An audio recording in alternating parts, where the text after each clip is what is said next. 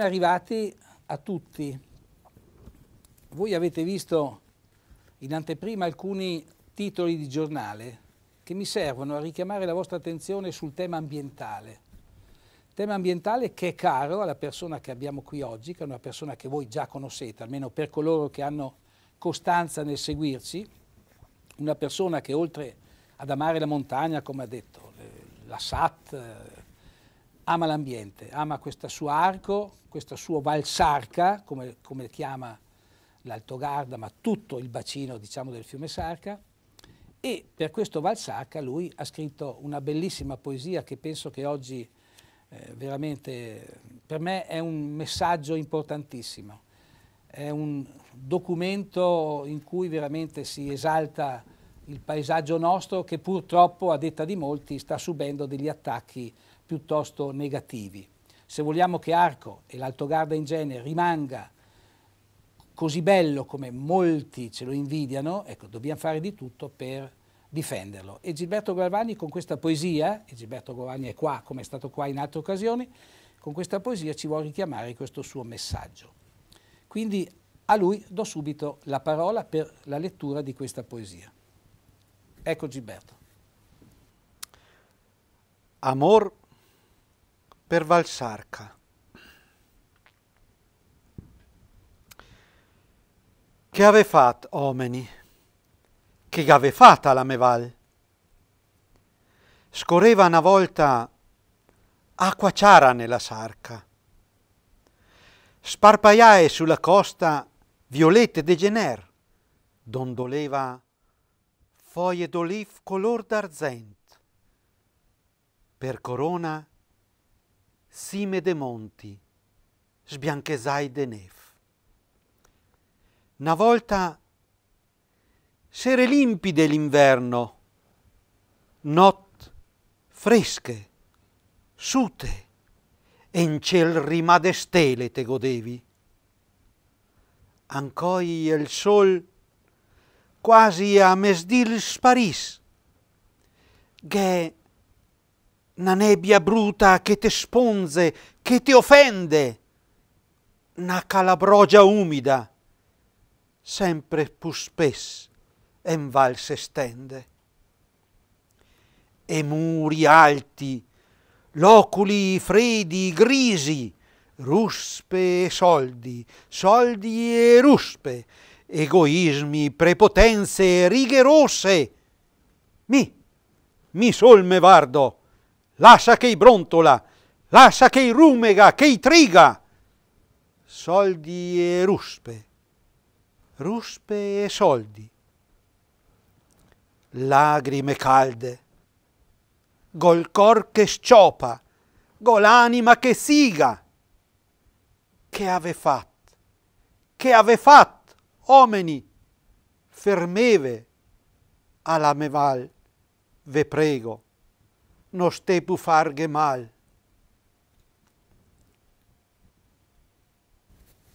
Beh, anche per questa poesia non posso non proporvi la traduzione in italiano perché questo testo io lo definirei un vero proclama, anzi un programma di vita nel rispetto dell'ambiente e nello stesso tempo un grido di allarme hm, da evidenziare proprio per far sì che la comunità prenda atto di un qualcosa che sta avvenendo e che purtroppo ci porta non so che cosa.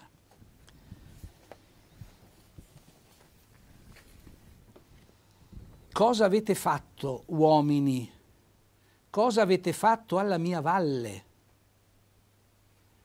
Una volta scorreva un'acqua chiara nella sarca. Sulla costa del castello c'erano disseminate violette a gennaio. Le foglie d'olivo dondolavano ed erano colore d'argento. Per corona c'erano le cime dei monti bianche di neve. Una volta, l'inverno, le serate erano limpide, le notti fresche, asciutte. Il cielo era punteggiato di stelle e di tutto ciò tu godevi immensamente. Oggi il sole, a mezzogiorno, se n'è già andato, sparisce. C'è una nebbia brutta che ti punge, che ti offende, una calabrogia, un qualche cosa di umido, sporco, sempre più spesso che si stende nella valle. E alti muri, loculi freddi, grigi, ruspe, soldi, soldi e ruspe, egoismi, prepotenze, righe rosse. Io, io solo mi guardo ma lascia che i brontola, lascia che si lamentino, lascia che i rumega, lascia che siano lì a pensare alle loro preoccupazioni, che i triga, il trigare, che eh, eh, facciano qualche tramaccio, qualche tramaccio. Soldi e ruspe, ruspe e soldi. Calde lacrime ho nel cuore, cuore che scoppia. Ho un'anima che grida ma che avete fatto? Che avete fatto uomini? Fermatevi. Vi prego, alla mia valle, non state più a farci male. Beh, con questa poesia penso che Gilberto si espone Ma... in prima persona con il suo modo di concepire la vita, concepire l'ambiente, la natura. E Ma... penso che per questo ha fatto anche delle battaglie e anche pagato qualche prezzo. Cosa dici Beh, Diciamo che nel momento in cui te, te esponi...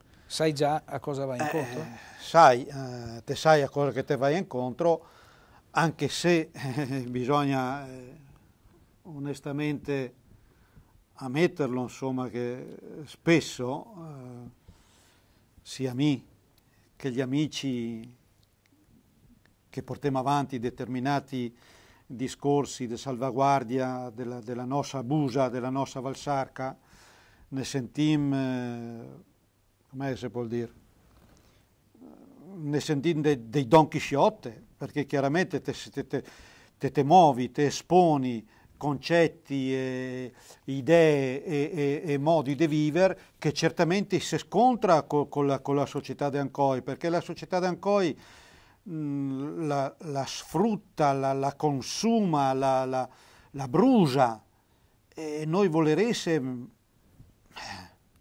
bel, bel, bel sogno. Rallentare rallentare questa corsa rallentarla perché bisogna che ne rendente conto Sandro e, e anche a chi che ne ascolta. Bisogna che ne rendente conto che vivemo in Denabusa ed essendo Nabusa chiaramente laga dei limiti, laga dei limiti, degli spazi, limi, dei spazi limitati e nel momento in cui quei spazi ti impienissi, eh, non si sa dove si va, eh, anzi si sa dove si, si sa dove si va, perché una volta che hai finito eh, la campagna, che fente? Costruite del lac. No, ma lo strano, dura. Gilberto, sai cos'è? Che queste cose che tu dici, parlando con la gente nei bar, in, ai giardini, certo. sono tutti d'accordo, tutti con, concordano su quello che dici, no? però poi nel momento in cui c'è l'operatività chiaro. della politica, dell'amministrazione, chiaro, eh, chiaro. Succede qualcosa che rende vani questi, questi impegni. Stiamo attenti, stiamo attenti perché chi nel momento in cui te parli o se togli posizioni o ti affronti argomenti così che è delicati per l'amor del cielo, no? perché vivono vivo me, viviamo anche noi in questa società eh, non si può dire no a tutto. Che mancheria altro. E chi che amministra, mi sono nella piena convinzione, sono tutti nella piena convinzione che gli è chiamati a fare delle scelte. Perché nel momento in cui, se, se gli da mente a tutti quei come il Gilberto, non fa più niente. Quindi gli deve che è una via di mezzo, deve essere una via di trovar, mezzo. Trovare una via, non è facile, eh, non è facile, con questo non sto dicendo che sia una cosa facilissima da, da, da farsi, anzi, però è miginin di buona volontà, perché nel momento in cui all'amministrazione o alle amministrazioni va dit chiaro e tondo che non si che fa la guerra a nessuno, cioè non è una guerra che te che fai alla persona. Fine a se stessa, insomma. Esatto, perché eh, lei logico, far la guerra. L'importante sarebbe riuscire a parlarsi anche, anche de, delle, delle, cose, di queste cose, senza begare. Senza begare. Certo. E mi penso che l'amministrazione la, la, la, la si dovrebbe chiamare fortunata di avere dei cittadini che si interessa e che si espone al di là di ogni qualsiasi eh, bandiera di partito. Cioè cittadini, cittadini che parla nell'interesse e per l'amor de Valsarca, insomma. Certo. Adesso voglio un attimo abbandonare questo tema, che ovviamente, ovviamente, è molto importante, per soffermarvi un attimo sulla forma di questa poesia, sui temi che a me sono cari, perché sono qui appunto per dare alcune nozioni di carattere grammaticale. E questa poesia, al di là di alcuni termini che adesso magari pongo alla vostra attenzione, Comunque eh, ritorno sull'accento, voi vedete per esempio quel ave fat, ave, ecco è importante chiaramente metterci l'accento fonico chiuso. Poi umit, u eh, va accentato, altrimenti viene spontaneo dire umit. Poi na volta, vedete che davanti alla n c'è un apostrofo, perché l'apostrofo sta sostituendo un. Poi le stele te godevi, in ciel rimà de stele te godevi. Stele non sono le stele, i ciocchi di legna, sono le stele con la U chiusa. Poi, beh, la calabrogia è un termine che ho spiegato, ho spiegato prima. Ecco, l'ultimo verso mi pare interessante. No ste pu farge mal. Ecco, quel no. È importante metterci l'accento fonico chiuso perché noi siamo abituati a pronunciarlo no. Ste, la stessa cosa, va accentato con l'accento fonico chiuso. Poi chiaramente c'è il pu, eh, che sta per più e quindi c'è l'accento tonico. Farghe mal, beh qui farci male, ecco.